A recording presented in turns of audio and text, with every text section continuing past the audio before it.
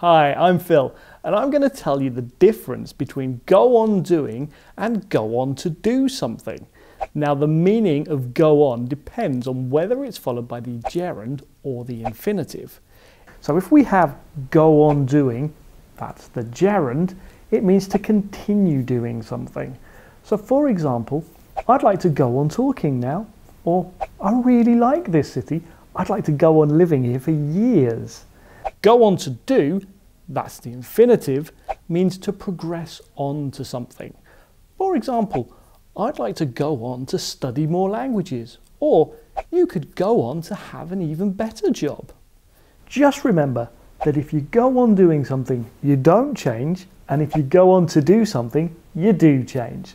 So, if you go on practicing your English, you'll go on to be even better than you are now.